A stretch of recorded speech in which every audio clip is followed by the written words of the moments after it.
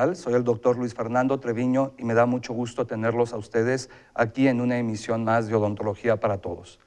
En realidad, el tema de ahora es muy interesante y tenemos un invitado de lujo. Por lo tanto, bueno, le quiero dar la bienvenida al doctor Manuel Muñoz Hernández, el tema que nos trae ahora, que es fluorosis dental. Bienvenido, doctor Manuel Muñoz. Me da mucho gusto tenerte aquí en este programa. Muchas gracias, doctor. Gracias por la invitación. Y bueno, platícanos, vamos a entrar de lleno porque la verdad es de que los temas son tan interesantes y espero que nos estén siguiendo, que una vez que nos metemos a hacer eh, estas pequeñas explicaciones para ustedes que están en casa, que espero que sea de su interés, porque en realidad nosotros estamos también pues tratando de que ustedes se involucren con nosotros, de que ustedes eh, se interesen y nos vayan siguiendo a través de, del canal de la, de la universidad para que eh, vayan tomando confianza con nuestra profesión, que es en realidad eh, pues muy necesaria. Entonces, vamos a platicar. ¿Qué, ¿Cuál es, por qué escogiste este tema para tu tesis doctoral, doctor Manuel eh, Muñoz? Sí, muchas gracias. Mira, normalmente se debe escoger un tema para investigación que atienda una problemática social. Eso es algo muy importante porque luego eh, se hacen investigaciones que no, que no crean una solución o, crean, o generan un semillero de, hipótesis que luego se puedan llevar a, a, otra investigación mejor. En este caso, pues Durango ocupa el primer lugar nacional de fluorosis dental eh, en grados de severidad de medianos, eh, bueno, severos, medianos y ligeros, pero sí en algunos puntos específicos, hay grados severos o muy severos que incluso se salen de las clasificaciones que conocemos. Es muy interesante esto porque, bueno, eh, ustedes en casa deben de saber que hay una endemia en Durango y ¿qué le llamamos endemia? Pues a una zona geográfica limitada o delimitada, mejor dicho, donde se concentran este tipo de problemas. Entonces, aquí en la República son famosos o somos famosos por la, coloración de nuestros dientes. Por lo tanto, la fluorosis es muy importante y no solamente hacer un estudio, sino tener un seguimiento y una serie de estudios con cierta periodicidad. Entonces, en realidad a mí me da mucho gusto tener como invitado al doctor Manuel Muñoz, me da mucho gusto también que se haya realizado esta tesis, porque yo la última vez que tuve memoria que se realizó un estudio aquí en Durango fue aproximadamente hace eh, alrededor de 44 años o 43 años, a la primera generación de, lo que es ahora la Facultad de Odontología y entonces uno de los catedráticos que daba clases les encargó a los alumnos que tuvieran o tomaran una medición de, del agua, de la cantidad de flúor que tenían, eh, sobre el pozo único que surtía de agua, que antes eh, era nada más un solo pozo que está enfrente de la escuela normal del estado, que le llamaban el ojo de agua, y la concentración de flúor que tenía ese pozo, pues era la concentración del agua que tomábamos todos, puesto que en, en aquel entonces no había agua embotellada. Entonces, pues obviamente es obsoleto, la concentración es muy independiente según la zona y aquí en Durango, que es la entidad que más nos afecta, además, bueno, quizá no sé si tú estés de acuerdo conmigo, Manuel, el Nayar, eh, que está eh, aquí cerca de la cabecera municipal, pero sin formar parte de lo que es el centro de la ciudad, también está muy afectado, ¿verdad? Entonces, pues me da mucho gusto. Eh, yo estaba revisando tu estudio y, estoy también, bueno, a mí me gusta mucho lo que es la estética y yo creo que a ti también, a la mayoría de los odontólogos, porque nos gusta eh, eh, trabajar para embellecerles la sonrisa a ustedes que están allá en casa. Entonces, eh, algunos estudios dicen que debe de ser una parte por millón y otros dicen que debe de ser 1.5. En, en, sí, los estudios más modernos dicen que debe de ser 1.5 partes de flúor por millón. ¿A qué nos referimos? O sea, nosotros queremos, y no sé si tú me, me ayudes, hacer una analogía y para esto pues les vamos a pedir a, las personas que nos ayudan en cámara, si nosotros tenemos un litro de agua aquí, que es, bueno, este es, en, este caso es exactamente un litro de agua, ya la tenemos preparada, está embotellada eh, o estaba embotellada y tenemos un mililitro de lo que sería el flúor, lo traigo en esta jeringa, esta jeringa es de 3 mililitros, por lo tanto, si son 3 mililitros y nada más está ocupando esta tercera parte, y aquí viene de un mililitro. Entonces, lo que es esta expresión o lo que queremos decir nosotros los odontólogos cuando nos referimos a la concentración del flúor, que debe de ser menos de 1.5 o de una parte por millón, nos referimos a una unidad de medida de la concentración que tiene el flúor. Entonces, el agua es el solvente y el flúor es el soluto. Y al momento en que nosotros vamos a incorporar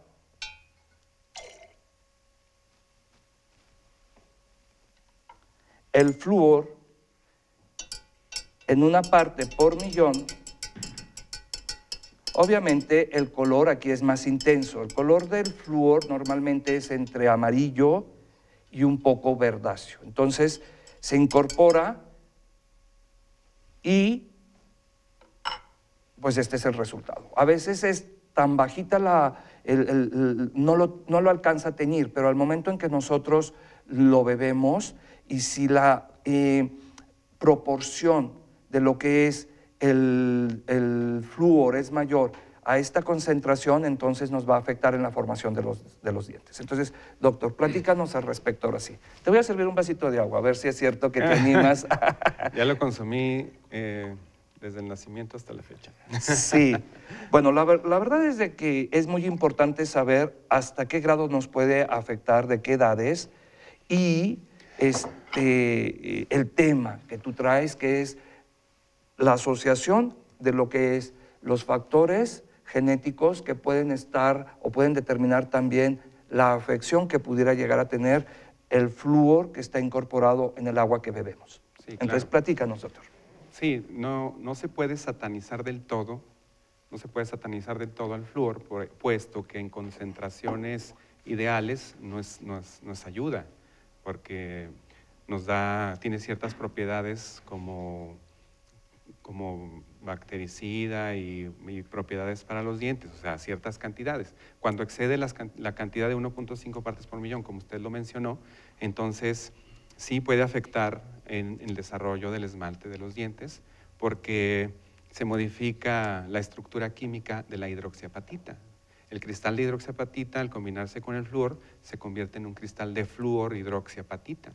Entonces, eh, si tiene concentraciones entre, entre, más elevadas sean, ese esmalte en vez de hacerlo resistente, lo hace, lo, hace cada vez más poroso, incluso pueden aparecer manchas desde blancas, blancas opacas, marrones, hasta unas manchas muy, muy cafés, eh, que bueno, el esmalte es como si fuera un gis que se desmorona muy fácilmente. Y, y esto del flúor, aparte de la estética, pues, pues si tenemos fluorosis mediana o severa, pues facilita mucho la, aparición de caries. Y las caries dentales, pues sabemos que el 98% de la población tiene o va a tener caries antes de morir. Entonces, al tener caries y caries muy severas, también hay otras patologías eh, asociadas o que van evolucionando de la caries, como es la pulpitis irreversible cuando tienes el dolor de muela o cuando llegas a tener un absceso dental. Luego para eso requieres tratamientos como una endodoncia, que es el tratamiento de conductos, restauraciones o la pérdida del diente. Entonces, sí hay complicaciones por el hecho de tener fluorosis, no nada más estética, porque la fluorosis severa o mediana puede influir este, tanto en tu aspecto físico, que eso sí te da una repercusión en tu autoestima, bien documentada, y aparte en lo que es la salud en general, porque la boca no es, no es, este, aparte no, es, no es algo externo del cuerpo humano, sino que pues, este, pues ahí nos alimentamos, comemos, eh, hablamos, o sea, la boca juega un papel muy importante. Si pierdes dientes, pues luego se te, desacomodan por ahí los dientes, hay malposición y puede haber problemas a futuro de la articulación y cosas que, en las que usted como ortodoncista pues no, me deja mentir y es experto en esa área, ¿verdad? Eh, a lo que nos, referimos en este caso, bueno, cada uno de nuestros dientes son un órgano, representa un órgano. Y como todos los órganos está compuesto de varios tejidos. El tejido más externo es como una especie de caparazón y nosotros le llamamos, es el esmalte, eh, se le llama esmalte. Y durante la etapa de formación, que es desde que el bebé se está gestando en el vientre de su mamá hasta aproximadamente después de los ocho años de edad, es que la incorporación de esta agua, eh, si tiene esta concentración mayor a la que nosotros estamos hablando, entonces se incorpora a la hidroxiapatita que dice el doctor. ¿Qué es la hidroxiapatita? Bueno, eh, en la superficie, en, este tejido externo que es el esmalte, se forman eh, unos prismas que son a base de proteínas y hay una distancia entre un prisma y otro que está formado por una matriz orgánica, que hay muchas proteínas, hay muchos minerales, y entonces al momento en que nosotros bebemos el agua, incluso las mujeres cuando están embarazadas, esta agua a veces, aunque no atraviesa al 100% la barrera placentaria, pues a lo mejor llega en cierta concentración y se empieza a formar parte de los diferentes tejidos. Tiene mucha predilección el flúor por lo que es el hidrógeno y tiene mucha predilección por los huesos y por el esmalte. ¿Cuál es tu experiencia? ¿A qué resultados llegaste en esta investigación? Sí, antes que nada, eh, pues quiero también resaltar el por qué, eh, bueno, se llama fluorosis dental como, como, patología o como una afección al diente o al esmalte, como usted ya lo explicó, eh, por atribuyéndole a un solo factor, que es el flúor o excesivo, la excesiva concentración del flúor. Pero eh, luego observamos en, la literatura que países lejanos a, Durango, que tienen unas características muy similares en cuanto a características geográficas, pero diferente etnia, entonces, o diferente raza. Eh, incluso en esas ciudades que tienen características similares, pero con el flúor más elevado, y oh sorpresa, no tienen los grados de fluorosis que nosotros tenemos. Entonces eso nos hizo pensar que no nada más es el flúor el que influye en la aparición de la fluorosis dental, sino que también esa parte de la parte individual, la parte genética, y otra cosa también muy importante, entre las mismas familias, entre hermanos que comen lo mismo, viven donde mismo, les cocina la mamá, compran los alimentos en el mismo lugar, eh, los grados de severidad entre hermanos son diferentes. Entonces ahí nos hizo sospechar que había un factor genético que podía predisponer o proteger para la aparición de la fluorosis. Entonces nos enfocamos a ver esas proteínas que usted mencionó sobre quién genera los, agentes, los genes que tienen todo el código, la información para crear esa proteína que va a formar parte importante del esmalte. Eh, eh, eh, vimos esa proteína, una parte de esa proteína, en específico un gen del colágeno, que tanto está en el esmalte como está en la dentina. Entonces, bueno, dentro de, esos genes, pues hay unos lugares que se llaman polimorfismos, que eso nos hace diferentes entre seres humanos, de tener ojos azules, ser más altos, ser de color de piel específico. Entonces, bueno, nos enfocamos a, ver esa parte del gen y en cuanto a nuestros resultados, pues fue que no, encontramos una asociación directa como para atribuirle que ese determinado polimorfismo o esa parte del gen pudiera influir en la aparición de la fluorosis. Sin embargo, un dato importante fue que en uno, en uno de los grupos que analizamos había cierto ligero, perdón, cierto factor protector. Entonces sí puede, sí puede estar, sí, sí, nos marca pues que hay una influencia, no de manera este, como para que aparezca, pero sí de manera como para que lo proteja. Entonces, pues esto, esto, esto que les estoy platicando va enfocado hacia tener una medicina más individualizada. En algunos otros países del mundo para recetar tal o cual fármaco le hacen un tipo de estudio como el que le estoy comentando, porque hay ciertos fármacos que no le hacen a usted y a mí sí. Entonces, pues generalmente se puede tratar un dolor de cabeza tal vez con una aspirina, pero habrá gente que la aspirina eh, es como si no tomara nada o tal o cual medicamento. No tiene el mismo efecto. No tiene el mismo efecto o efecto nulo. Entonces, este, fue un, un, ejemplo clásico con, una, con un, un medicamento inhalado que era salbuterol, en donde a un grupo no le hacía nada de efecto, a otro medianamente efecto y a otro le hacía muy bien efecto. Entonces imagínese a alguien que, que tenga la necesidad de usar ese fármaco y un especialista lo recete sin hacer ese perfil genético, por así llamarlo, pues no le va a hacer efecto y puede traer complicaciones. Bueno, por ahí va nuestro estudio, abrimos una brecha en esa, en esa área de la investigación, genera muchas hipótesis para que otros investigadores de aquí mismo de México, nosotros mismos en la universidad o en otras partes del mundo que adquieran esa literatura, pues puedan darle seguimiento. Se hace un abanico de posibilidades y un semillero de hipótesis, que este, es uno de, de los grandes logros de abrir esa brecha eh, en cuanto a esta parte genética con la parte de la fluorosis. Fíjate que a mí me gustaría que eh, pues esta curiosidad, esta inquietud que a ti también te nació, también le nacieran a mucha gente más de aquí de la entidad de Durango, puesto como tú mencionas, somos la entidad número uno que en, concentración de, de flúor o donde más nos ha afectado, donde más se ha reflejado, ¿verdad? Entonces, yo encontré también cuando hice la tesis para mi maestría, que en ciudades como el Distrito Federal o la Ciudad de México hacen estos estudios de las concentraciones de flúor con cierta periodicidad y aquí en Durango pues estamos un poquito olvidados. Entonces a mí por eso me dio mucho gusto este estudio, qué bueno que lo realizaste, ojalá como tú dices se siga eh, pues extendiendo. Y no sé si nos traigas algo de material acerca de, de algún ejemplo a, ver qué nos dicen allá en, cabina, a ver si nos pueden pasar algunas fotografías. Eh, y bueno, eh, a, esto me refiero de que mm, dices que hay ciertos factores protectores o se encontró eh, o se sospecha de un cierto factor que también puede proteger a, los niños para que no les llegue de lleno toda esta concentración de flúor y se fije en el esmalte y bueno, también en la dentina. Tú, ah, tú, que yo sé que, bueno, pues obviamente no puede uno decir con exactitud y precisión es esto, hasta no tener la investigación y el resultado de una investigación o de un estudio, pero tú, ¿cuáles factores crees tú que, protejan o nos protejan para, para no recibir toda esta concentración tan intensa de flúor que pudiera llegar este, a afectarnos, ¿verdad? No siempre nos afecta, pero que pudiera llegar a afectarnos.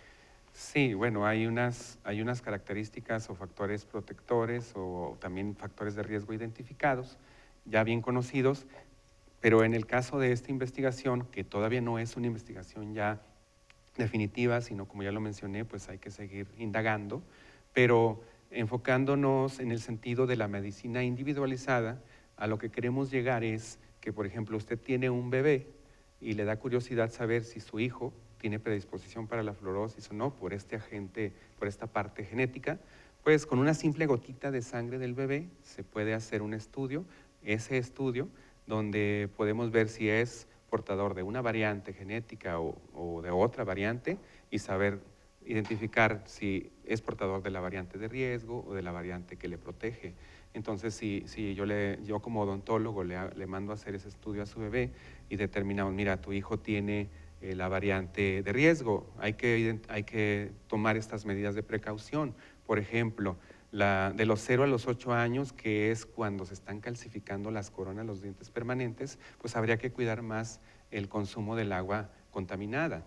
Eh, identificar eh, qué agua le estamos dando a, los bebés. Por ejemplo, en el caso del agua hervida, que tradicionalmente servía en casa para darle el biberón, pues el hecho de hervir el agua aumenta el 70% o más el volumen o la concentración de, flúor. Entonces, por un lado, si matamos las bacterias y le damos el agua en el biberón ya descontaminada, pero por otro lado aumentamos los niveles de, de, flúor.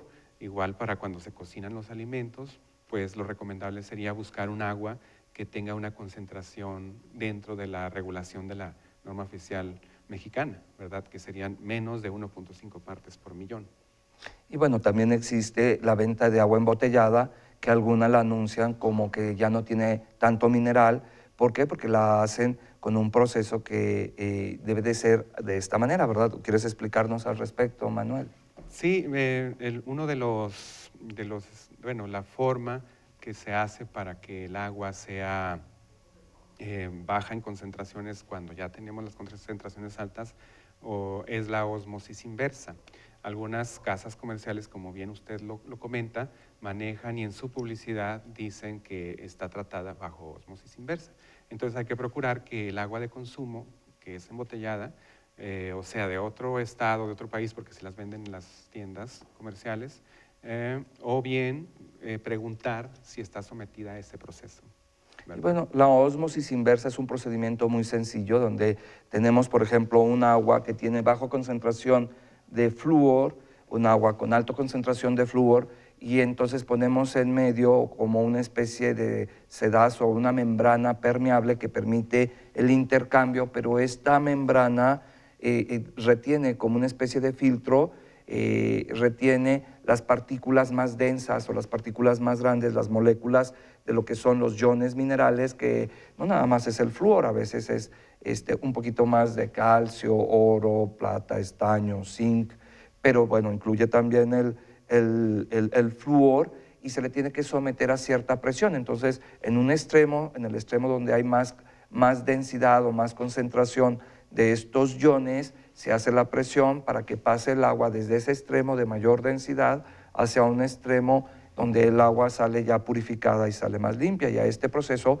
se le llama osmosis inversa. Este proceso es, eh, no es tan costoso, es muy eh, comercial ya. Sin embargo, bueno, también hay que tomar en cuenta que últimamente dicen que las aguas embotelladas que nos venden ya no tienen nada, que es agua, pues agua pura, el elemento puro, sin iones de calcio, de, potasio, de sodio. Y entonces ahora, pues también, si ustedes han escuchado o han, leído en el internet, este, también a veces hay que agregarles un poquito de, eh, no sé, de, de otras sales ¿Por qué? Porque se eliminan algunas que no son tan benéficas, pero también se eliminan otras que a lo mejor sería este, bueno no, no tenerlas que eliminar eh, del todo. Por eso se, les pone carbonato o bicarbonato a estas aguas.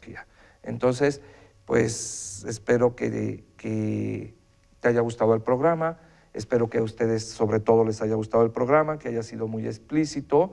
Y bueno, pues los vamos a esperar en una emisión más de Odontología para Todos. Muchas gracias, Manuel. Gracias por la invitación, gracias aquí con mucho gusto. Eh, para mí sería un orgullo seguir viniendo las veces que ustedes me inviten. Aquí estaré. Muchas gracias. Gracias. Gracias. Y bueno, pues los esperamos la próxima semana en una emisión más de Odontología para Todos. Síganos, por favor. Esto es muy importante y el programa, la verdad, está muy bueno. Que tengan ustedes un excelente resto del día de, del día de hoy.